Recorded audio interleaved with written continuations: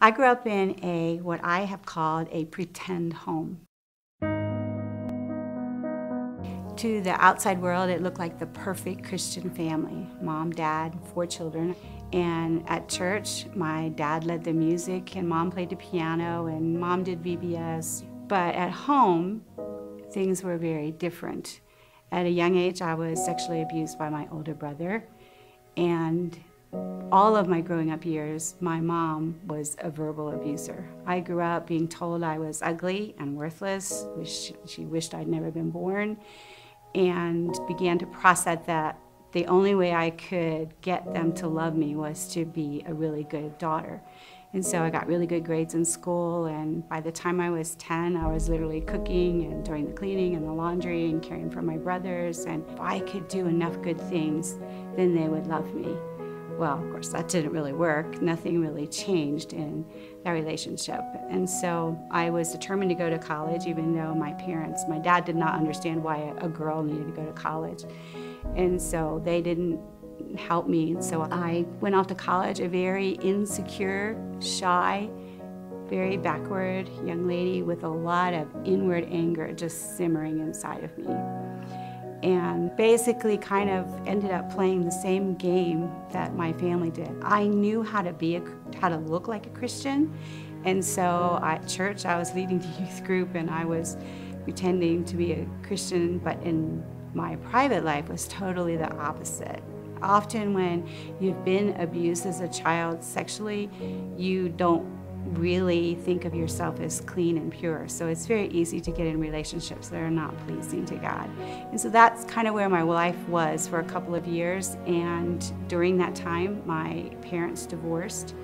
And even though I mean, that doesn't sound like much of a tragedy, but for me, it was like even though the family was so dysfunctional, at least I had a family.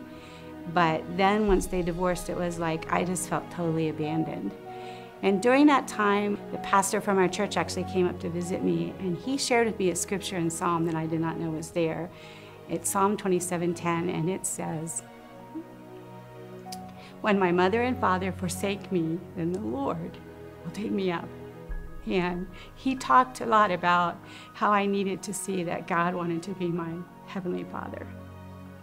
And so at that point, I began to understand a little bit about God's love, but there was still all of this baggage that was kind of interfering with my understanding that he truly, I really had worth in God's eyes. But that verse began to get me thinking more and more about, well, maybe God could love me. And so I had um, decided to try to live a little bit better life on my own. Why that doesn't work very well when you don't have any power behind you to help you.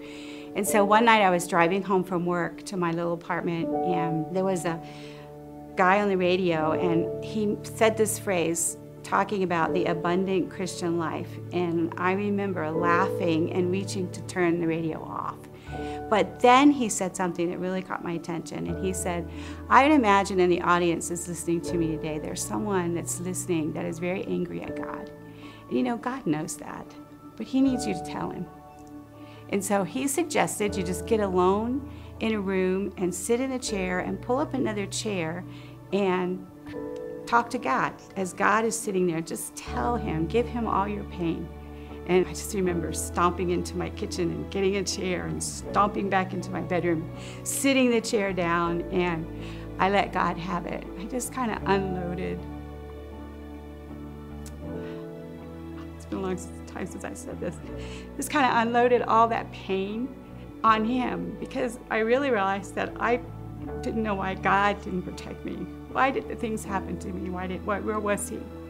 And at the end of that time, I just felt a peace enter my heart that I, I can't describe.